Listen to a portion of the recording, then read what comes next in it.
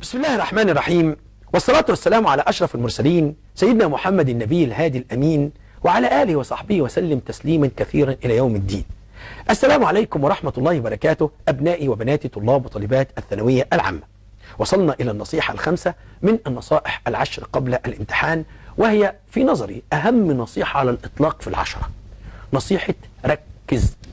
أرجو بقى تركزوا في اللي هقوله دلوقتي لأنه هيفرق كتير قوي معانا في الفترة اللي جاية وخصوصا فترة ما قبل الامتحان في الفترة دي طلاب كتيرة يقولوا لي أستاذ إحنا بدأ تحصيلنا يقل وخوفنا يزيد وبدأ أحس إن أنا قاعد ببص في الورقة أنا مش مركز مش عارف أركز في حاجة ولا عارفة المعلومات تثبت في دماغي أعمل إيه يا أستاذ؟ تعمل إيه ببساطة تقعد مع نفسك كده وتقول هو إيه التركيز أصلا الأول؟ آه يعني سيبنا من الكتاب بقى وسيبنا من أي حاجة دلوقتي كده. تعالوا نعرف يعني إيه التركيز. التركيز ببساطة إن أنا أحصر انتباهي في موضوع واحد وأبدأ الموضوع ده أدرسه من كل جوانبه عشان أوصل لنتيجة معينة. أنا بذاكر نص خلاص بذاكر النص ده بقدر الإمكان وأحصر انتباهي فيه وكل ما مشرد ولاقيني طلعت بره الموضوع أقوم راجع تاني. زي المحاور الذكي اللي مركز في قضية الحوار.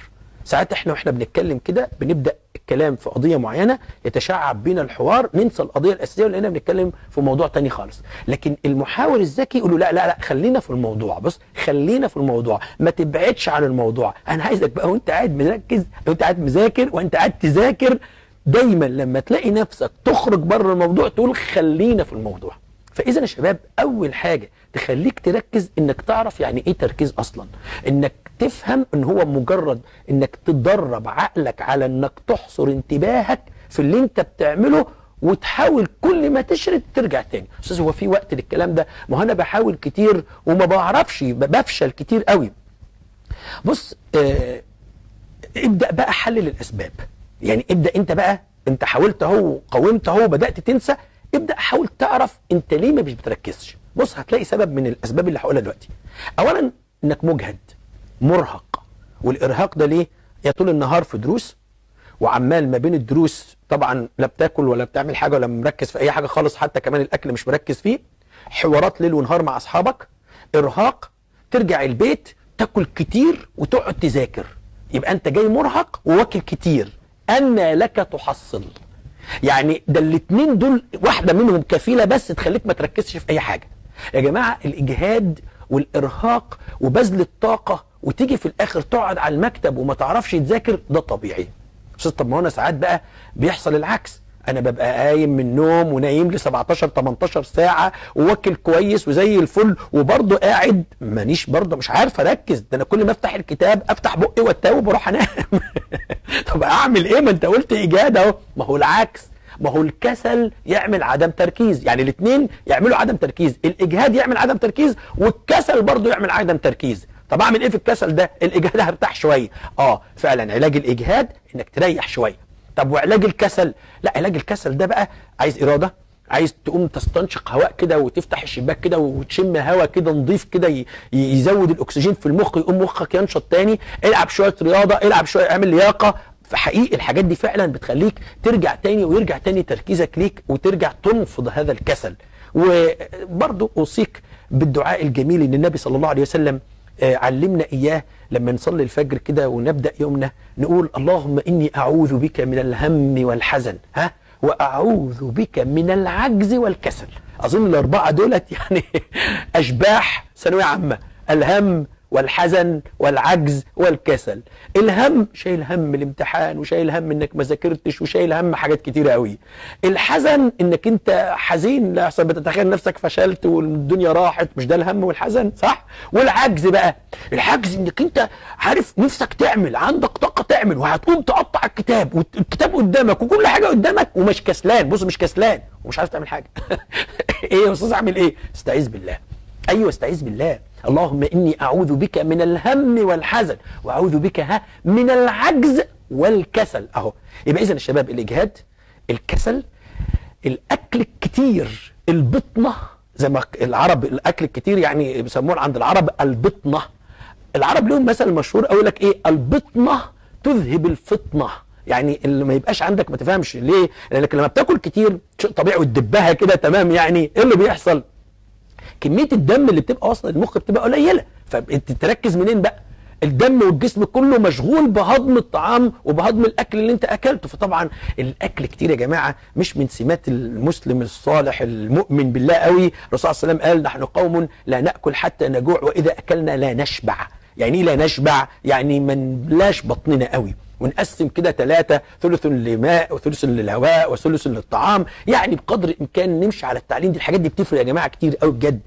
وعكس البطنة يعني إذا كانت البطنة تذهب الفطنة برضه العكس الأنيميا بقى. يعني طلبة كتير جدا ما بيركزوش. والله الكلام ده مخارج ثانوية عامة.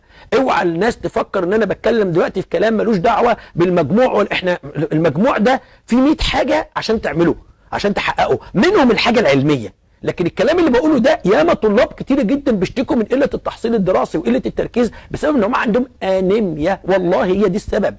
سوء تغذية آه، بياكل نوع واحد من الأكل ما بينوعش أكله. فيا جماعة لازم أنا مش خبير تغذية. أنا أعرف جمعت لك شوية معلومات كده في التغذية المتنوعة. يعني مثلا يقول لك عارف الخميرة؟ الخميرة البيرة. لو جبت معلقة خميرة بيره كده خلي مامتك أو حد كده في البيت يعملها لك ويدوب لك معلقة كبيرة كده في المية واشرب المية ديت الخميرة البيره دي فيها فيتامين ب مركب. الفيتامين بي المركب ده بيساعد جدا المخ وبيساعد بيديك طاقة وبيديك حيوية وبيديك تركيز فالحاجات دي اعملها. أيوه ال- المأكولات البحرية بتساعد جدا على التركيز السمك وكل المأكولات البحرية لأن الفوسفور بتاعها عالي فبيعمل عملية آه، تركيز. الكلام ده التمسه. بص زي ما بيقولوا كده اللي تعرف به العب به زي ما بيقولوا. الحاجة اللي انت هتلاقيها في صفك سواء روحانية أو مادية أو علمية اعملها. فالمأكولات البحرية مهمة يا جماعة.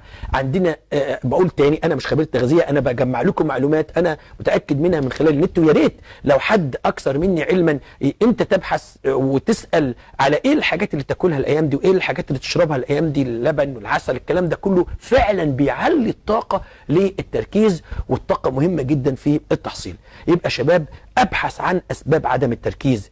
آه لا كن لا ذاكر وأنا مجهد ولا ذاكر وأنا مالي بطني وواكل على الآخر ولا ذاكر وأنا ما أكلتش خالص. يعني كأن بقى في إيه علاقة طردية ما بين إن أنا أرفع وإن أنا أجيب مجموع.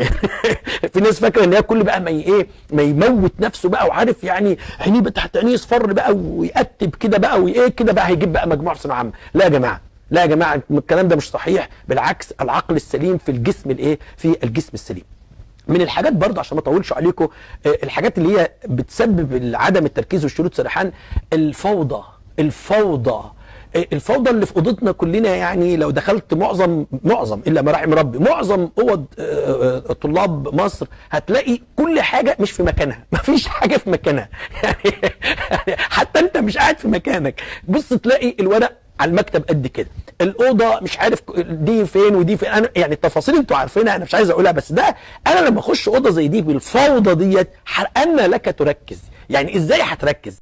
إنما الانسجام في المكان وتوضيب المكان آه خد وقت شوية في توضيب المكان هتلاقي نفسك آه تعبت ونمت. ماشي مش مشكلة.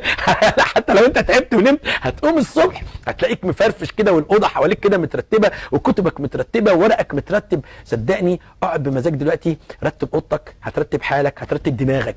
آه فالفوضى اللي موجودة حوالينا ديت نذاك- نذاكر في مك... في مكان منظم ومكان مناسب علشان يساعدنا على التركيز. آه أيضا من ضمن الفوضى اللي هي فوضى المذاكرة، يعني إيه بقى؟ أنا بذاكر اللي بيجي على دماغي أقوم فاتح الكيمياء شوية ومذاكر، أو فاتح التاريخ شوية ومذاكر، آه، يجي في دماغي العربي أقوم قافل العربي وأقوم آه، الكيمياء وأقوم جاري على العربي، أفتح العربي يا نهار أبيض ده الفرنساوي مش- أقوم. دي فوضى برضه دي دي دي حال الطلاب المصريين معظمهم إلا ما رحم ربي. فيا جماعة بلاش شتات الأمر ده لأن ده علامة مش مش كويسة الرسول صلى الله عليه وسلم بيقول من كانت نيته طلب الآخرة جمع الله شمله فيما معنى في جزء من الحديث ليه؟ ها جمع الله شمله. لكن اللي من كانت نيته طلب الدنيا شتت عليه أمره. فأرجو إن إحنا نكون من طلاب الآخرة ونكون بنلتمس في مذاكرتنا ال ال ال زي ما نقول الإيمان والحسنات. زي ما أنا بدور على الدرجات أعرف إن طلب العلم فريضة وأعرف إن ده حسنات. ده بيديني برضو طاقة في إن أنا أركز أكتر في اللي قدامي. فبلاش فوضى. لما تذاكر مادة فكرش في مادة تانية ولما تيجي تفكر في مادة تانية قول ما أنا لما أخلص دي هذاكرها افتكر إن التركيز هو إيه؟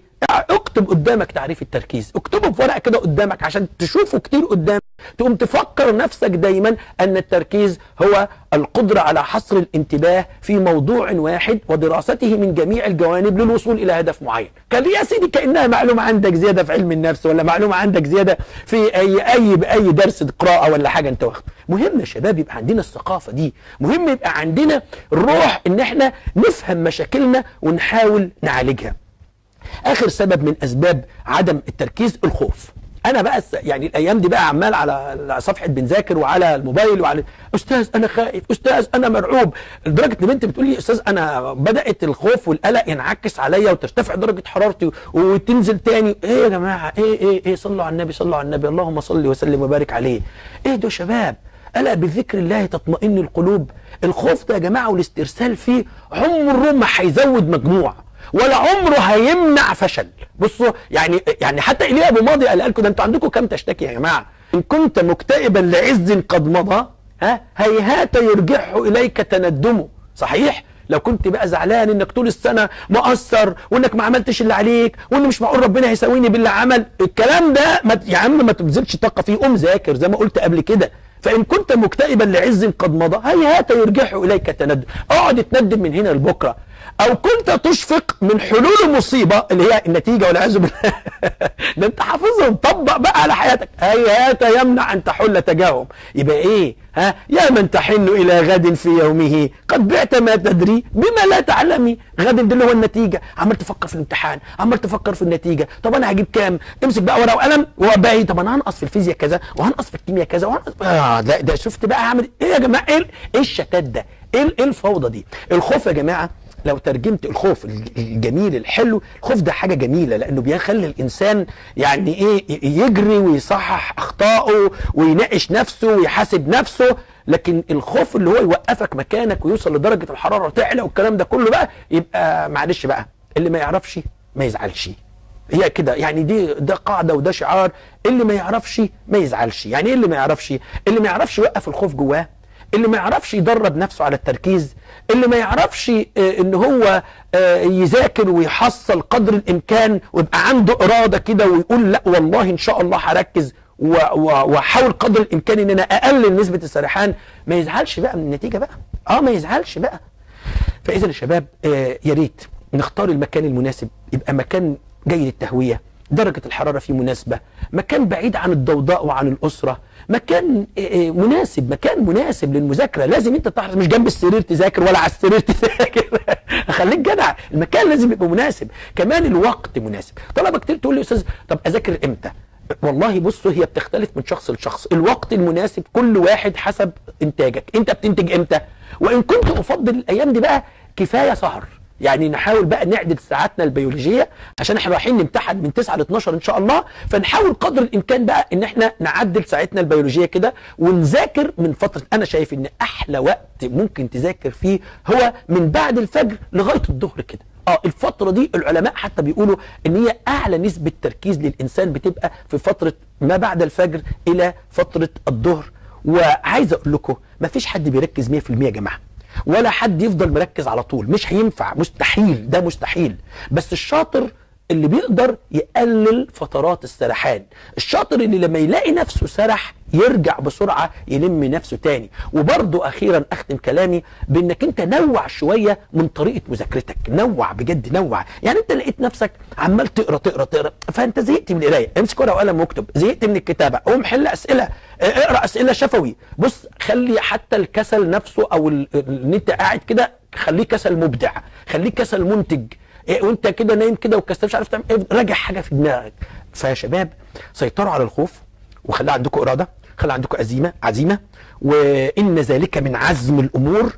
اللي ما عندوش عزم أمور يا جماعة هيفضل طول عمره يواجه مشاكله بالخوف والرعب اللي ملوش معنى ده. فاذا يا شباب ركزوا إنك تركزوا. وأرجو إنك إن شاء الرحمن الرحيم آه تقوموا بالتدريبات دي. يعني أنت لما تلاقي نفسك مش عارف تركز خالص عد من 100 تنازلي لغاية واحد. على فكرة ده يخليك تساعدك على التركيز. 100 99 98 97 96 95 برضو لما تلاقي نفسك مش عارف تركز عيد التدريب تاني بس اعمله بقى 100 98 96 94 بص انزل اتنينات ما تنزلش واحد. أو انزل تلاتات. أستاذ إيه ده؟ ده أنا هضيع وقتي. بص هو كده كده الوقت ضايع.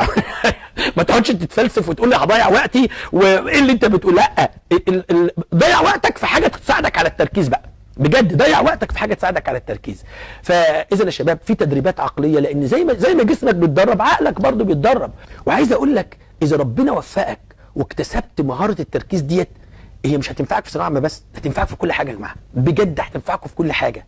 فيا رب تركزوا وتكونوا ركزتوا في اللي قلته وينفعكم إن شاء الرحمن الرحيم ويبقى عندكم إرادة كده إن كنتوا تركزوا وتفهموا إن الموضوع ممكن مش مستحيل وان شاء الرحمن الرحيم تقدروا تتكيفوا انك تشتغلوا تحت الضغوط الصعبة علشان آه، بجد ثانوية عامة مش معركة علمية وبس. ثانوية عامة زي ما هي معركة علمية هي أيضا معركة نفسية. أنا عايز طالب علميا قوي وبرضه نفسيا قوي. أنا مش عايز طالب علميا وعند أول صدمة يخاف ويرتعش. أنا لو راجل عندي شركة وتقدم لي اتنين مهندسين منهم مهندس آه، شجاع قوي ومنهم مهندس تاني بيخاف من خياله. أنا هاخد المهندس الشجاع القوي. دي حقيقة. فالشجاعة والقوة يا جماعة مطلوبة ومواجهة المشاكل مطلوبة وياما هتمروا بحاجات كتيرة زي ثانوية عامة. فأرجو إن يكون عندكم آه، فن المواجهة ويا رب تكونوا ركزتوا. وإن شاء الرحمن الرحيم استفدتم بما قلت. أبناء الطلاب آه، وصلنا إلى نهاية هذه النصيحة. وأرجو أن تكونوا قد استفدتم. وتولدت بداخلكم قد قدرة أو رغبة في التركيز وان شاء الرحمن الرحيم تكتسبوا هذه المهارة اللي هتفرق معاكم كتير قوي مش في ثانوية عامة بس لا ده في حياتكم كلها إن التركيز هو العبقرية. كما قال العلماء فأرجو الله عز وجل أن ينعم عليكم بنعمة التركيز وأستودعكم الله الذي لا تضيع ودائعه وإلى اللقاء في آه، حلقة قادمة ونصيحة قادمة بإذن الله. والسلام عليكم ورحمة الله وبركاته.